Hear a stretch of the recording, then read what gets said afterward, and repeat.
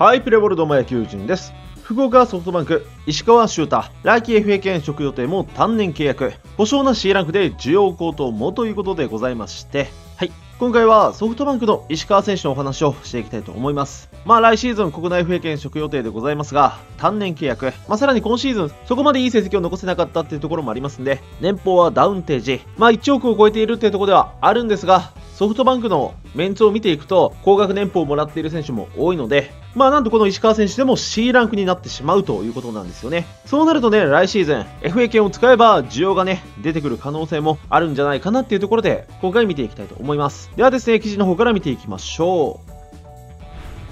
はい。ソフトバンク石川が1.2億円で単年契約へ。ソフトバンク石川修太投手が25日、ペイペイドーム内の球団事務所で契約公開交渉を行い、3000万円減の年俸1億2000万円でサインした。順調なら来季中にも国内 FA 権を取得する見込みだが、複数年契約の提示はないです。それが球団のせいですし、FA 動向よりは来年頑張るだけなので、と淡々と受け止めた。今季は8月18日の西武戦で、史上88人目のノーヒットノーランを達成したが、以降は白星なし。23試合で4勝8敗。防御率4.15だった。下がるとは思っていたので、今季の責任を取って下がりましたみたいな感じですね。自分の中ではこの成績で優勝できなくて、現状維持だったら誰も納得しないですし、と振り返ったということになっております。はい。というわけで、まあ、石川選手ね、原稿で契約公開ということになっております。まあそうですね、今季4勝に終わってしまって、防御率も4点台、規定にも載っていないというところであるんで、来季 FA とはいえね、この辺は仕方ないのかなというところでございますが、では改めてこの石川選手、どういうね、選手か成績かっていうところしっかりと見ていきましょう。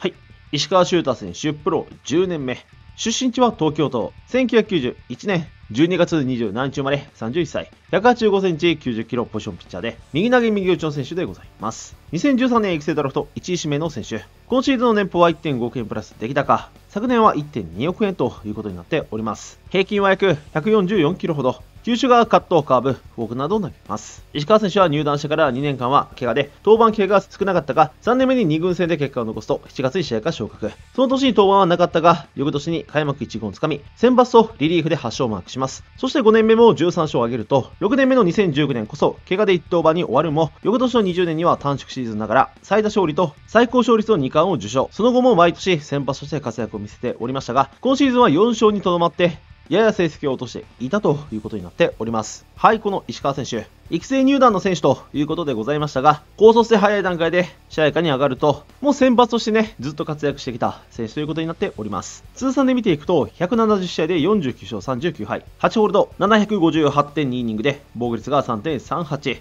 奪三振率7.83、吉木率が3.59と、まあ、ほんと先発としてね、50勝弱上げておりますし、もうバリバリローテーションを守っていた選手ということになっております。で、昨年はね、23試合で7勝10敗、136.1イニングで防御率が3.37、奪三振率7.00、吉木率が3.76と、否定には到達しませんでしたが、防御率は3点台前半。ただ今シーズンは23試合で4勝8敗、125.2イニングで防御率が4.15、奪三振率8.52、吉木率4.37と、ちょっとね、今季は成績を落としてしまっていたと。特にまあフォアボールが多く、こう不安定な投球っていうのがね、ついてしまっていたと。こうノーヒットノーランとかもね、あったんですけど、まあどっちかというとこうマイナスのイメージの方がね、多かったシーズンになってくるのかなと。で、そういった中で、今回1.2億円に減俸となって、単年契約。で、複数年の提示もね、どうやらなかったというところになっておりますんで、まあまあ、球団からは、まあ、とりあえずこう単年でサインということになっております。まあ、今年良くなかったっていうところもあるんで、当然ちゃ当然ではあるんですが、まあでもこう、来シーズン FA 権取得予定っていうところはありました。ソフトバンクに関してはね、割とこう、そこまで成績良くなくても、FA の前年には複数年契約を結ぶっていうところはね、あるんですが、まあまあそういった提示もなかったっていうところもございますね。まあもしかしたら FA 権ね、講師あるんじゃないか、みたいなことも言われております。では、そんな石川選手の FA に関して、もうちょっとね、深く見ていきましょう。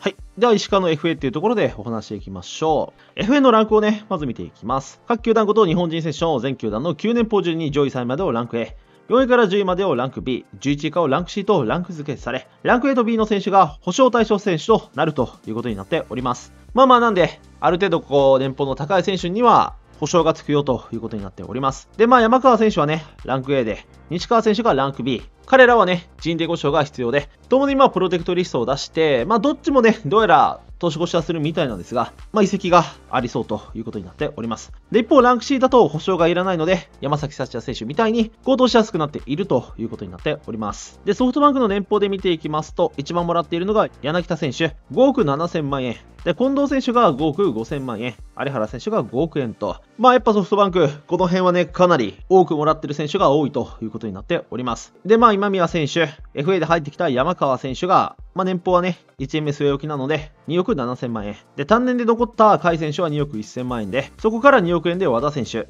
で、1.5億円の選手が中村晃選手、武田選手、東浜選手、又吉選手らがついておりまして、石川選手は12番目ということになっております。1億2000万円。1億円以上ね、もらっているっていう立場ではあるんですが、こうやって並べて見ていくと、10位までには入らず、まあランク C、人手保障がなしということになっております。まあまあやっぱね、これだけの実績ある選手で、なおかつ1億円以上もらっていてね、C ランクっていうのは、まあほんとさすがソフトバンクだなというところではありますし、驚きでもあるんですが、で、まあそんな C ランクの石川選手、主な近年の C ランク投手の FA 権行使っていうところを見ていくと、まあやはりですね、印象に残っているところで言うと、今シーズン移籍した山崎幸也選手、23登板で130.1イニング11勝5敗、防御率3.25と、まあ抜群の成績を残して、4年10億円というね、超大型契約を締結しております。まあこう6球団の争奪戦に、ね、なっていたっていうところもあるんで、まあこれぞ C ランクの需要かなというところで、ぐんとね、年俸が跳ね上がりました。で、20年には伊能選手が2年2億円、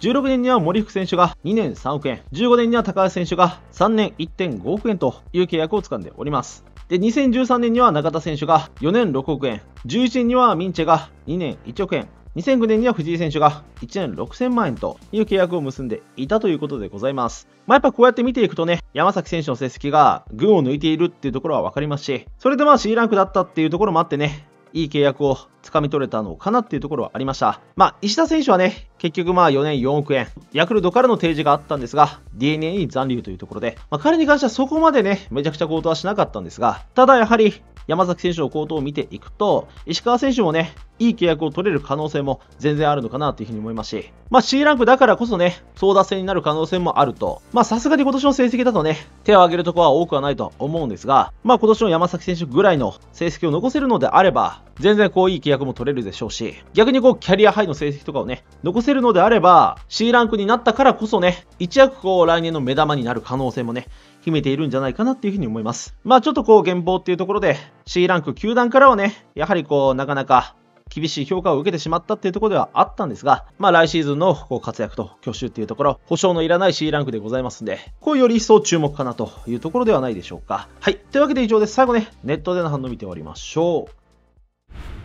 はい。ではネットでの反応ですね、見ていきましょう。マジか、石川で C はやばいな。普通に人気出るんじゃね？ということで。はい、そうですね。まあまあやっぱね、石川選手、原稿っていうところはね、仕方ない部分もあるんですが、まあでもやっぱこう改めて並べて見ていくと、1.2億円の年俸で、チームで日本人12番目、余裕で C ランクっていうところは驚きではありますよね。まあ山川選手が入ってこなくてもね、順番的にはそうだったっていうところもありますんで、まあ現状維持以上でなかった時点でそうなってはいたんですが、まあまあでもやっぱ他球団ではなかなか見られない動きにはなってくるのかなというところではありますし、この辺もやっぱ資金力の差っていうところがね、現れているのかなというところでございます。で、まあやっぱ先ほども言った通りね、しっかりとこう成績を残せるのであれば、人気っていうのもね、C ランクだとやっぱ出てくるんじゃないかなっていうふうに思いますし、山崎選手に近いね、契約っていうのも取れなくもないとは思うんですが、ただやっぱ年齢っていうのが若干ね、ネックなところはあるかなというか、まあ現在31歳、もうすぐ32歳になります。来シーズン33歳になって、FA 年のね、年齢で言うと、まあ34歳になるわけですよ。まあ、そうなるとやっぱ長い契約っていうのはね、取りにくくなるのかなっていうところもあるんで、やっぱ今年のような成績だと、そこまでまあ需要は出ないとは思うんで、まあ FA して、いい契約を取りに行くのであれば、やっぱキャリアハイに近いね、成績っていうのは必要になってくるのかなと。まあ、それであればね、やっぱ人気っていうのも、ある程度年齢いってても出るとは思いますんで、こういろんな球団で争奪戦になってもおかしくはないと。まあまあ、でもね、そんな成績残せば、ソフトバンクが引き止めにかかってもね、全然おかしくはないかなというところもあるんで、まあなんともってとこではあるんですが、まあまあでもそういう可能性を秘めている選手なのは間違いありませんので、まあやっぱちょっとね、来シーズンの動きっていうところ、目が離せない選手の一人ではありますよね。で、こちら見ていきましょう。石川修太、成績も落ちてきて、この雰囲気だし、西武も先発は取らないかなっていうので、プロテクト外れてる説ないかということで、はい。で、一方で、C ランクで来季争奪戦になるんじゃないかっていうふうに言われておりますが、山川選手のプロテクトリスト、これもね、昨日提出されました。で、そういった中で、今回ね、原稿で C ランク、で、複数年提示なし、単年の提示っていうところ。まあ、正直言った扱いっていうのはね、そこまでよくありません。武田選手とか見ていれば、そこまで成績良くないのに複数年とか結んでいるので、そう考えると、もしかしたらこう、プロテクトからも漏れているんじゃないかっていうね、話がちょこちょこ上がってきております。まあ今年良くなかったとはいえね、ソフトバンクで一番イニングを食っているピッチャーは彼でございますから、まあさすがにないんじゃないかなってとこではあるんですが、まあまあでもね、まあ今回 C ランクになったっていうところもありますし、まあ、確かにその線も出てきたのかなというところはありますよね。まあただね、外れていたらセーブは取らないかっていう風潮もあるんですけど、個人的にはそうは思わなくて、普通に漏れてたら取りに行くんじゃないかなっていう風に思いますけどね。まあ年俸も1.2億円、出来高がついているとはいえ、十分ね、取りに行ける範囲ですし、実績も十分。で、西武先発でいいって言われがちではあるんですが、まあただ、今井、隅田、高橋、平、まあこの4人はね、非常にいいんですが、そっから下っていうところが、まあ、松本、与座、エンスあたりがね、まあ、今年はね、投げていたっていうところはあるんですが、まあ、ただスタットを見れば、グンって落ちてしまうっていうところもありますし、ローテーション6人って考えれば、まあ、正直石川選手、取らない手はないんですよね、外れていたら。で、まあ、来季ね、FA 権使われるんじゃないかっていうところもあるんですが、まあそうなれば西武ではね、B ランクっていうところもありますし、またこう保証っていうのももらえます。まあ、それはそれでまた人的ももらえますし、悪くはないですよね。ソフトバンクの戦力も削れて、まあなおかつね、活躍した時の残留交渉もね、当然有利にはなってくるんで、そういうところを考えれば、もし外れていたら取りに行くべき選手の一人かなっていうふうに思いますし、相当ソフトバンクは困ると思いますんで、まあこう、トライしてほしいなというところはあるんですが、まあでもプロジェクト外れていないね、可能性も全然あるかなっていうふうに思うので、この辺は何ともっていうところではあるんですが、まあまあ年明けの人的故障発表、まあ、ますますちょっとここも注目になってくるのかなというところでございますが。はい。というわけで今日は以上です。よければチャンネル登録、コメント、高評価などいただければ嬉しいです。野球人でございました。せーのゲームセット。ありがとうございました。